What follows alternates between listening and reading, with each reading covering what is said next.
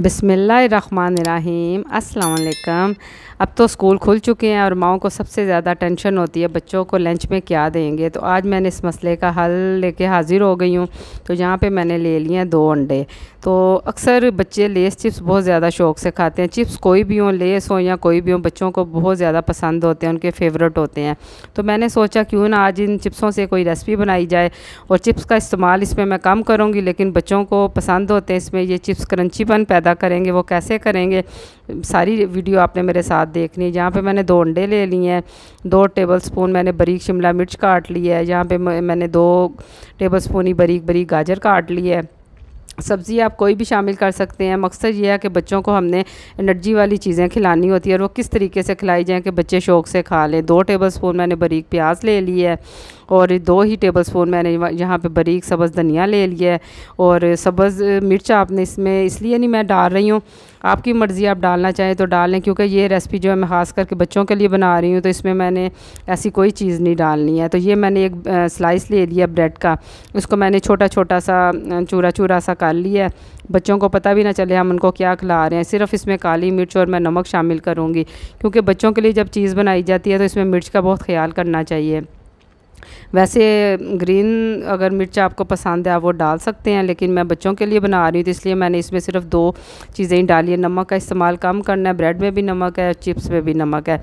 और ये बड़ी शानदार सी रेसिपी है, और बच्चों को लंच में भी दे सकते हैं, शाम को जब हम चाय पी रहे होते हैं तो बच्चे क्या खाएँ, इसकी भी हमें फ़िक्र होती है। यहाँ पे अब ये जो चिप्स हैं, ये थोड़े से ही मैं इसमें लूँगी।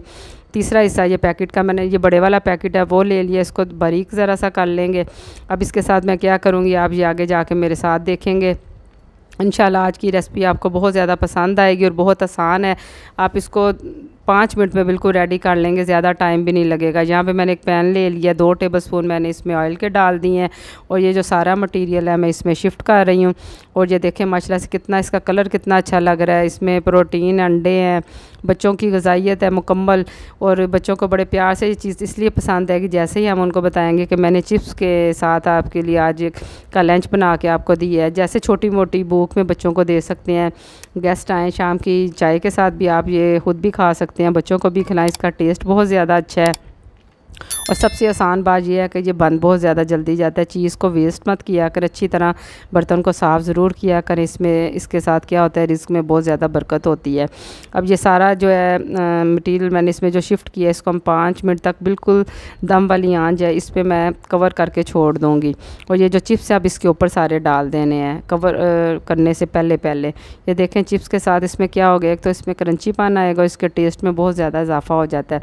इसमें हमने सब्ज़ियाँ भी डाली हैं, उसमें इसमें ब्रेड भी डाल दिया। बच्चों को इन तीन घंटे तक तो बिल्कुल भूख नहीं लगने वाली है।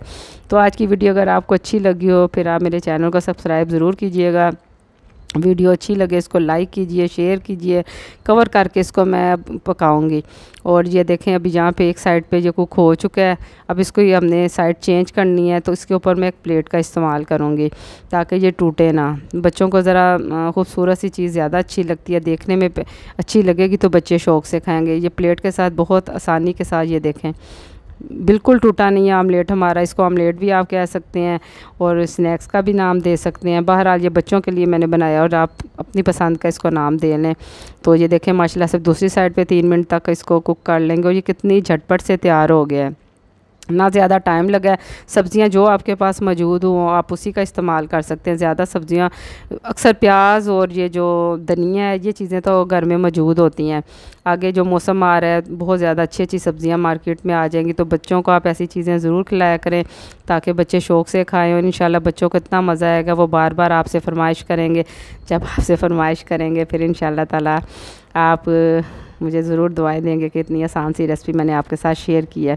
और मैंने खुद ही ये बना के खाया इस वक्त जुनेद घर में नहीं था। मैंने उसको फ़ोन करके बुलाया कि आ जाए।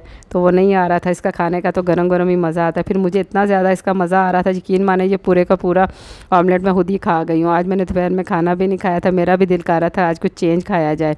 तो देखिए माशाला से कितनी ज़बरदस्त सी इसकी लुक लग रही है। गर्म है ना भी हाथ में पकड़ा नहीं जा रहा। बिल्कुल ये देखे माशाला से। अगर आपने ज़्यादा बच्चों के लिए बनाना है ये दो बच्चों के लिए लंच बॉक्स अगर आप तैयार कर रहे हैं तो बिल्कुल दो बच्चों के लिए काफ़ी होगा। अगर अगर ज़्यादा आपने मकदार करनी है, चार अंडों से बनाएँ तो आप इसी तरह डबल स्लाइस फिर कर लें। और ये बहुत आसान सी रेसिपी इंशाल्लाह मुझे उम्मीद है आज की रेसिपी आपको बहुत ज़्यादा अच्छी लगी होगी। अगर अच्छी लगी हो तो चैनल को सब्सक्राइब ज़रूर कीजिएगा। दुआओं में मुझे याद रखा कर। अल्लाह आप सबको हमेशा खुश और आबाद रखे। अल्लाह हाफिज़।